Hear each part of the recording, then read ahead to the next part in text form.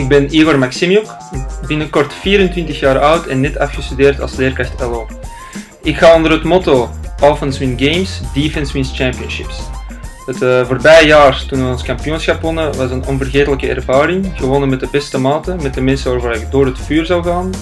En ik hoop dat we in Praag hetzelfde resultaat kunnen neerzetten en toch een medaille naar huis kunnen brengen.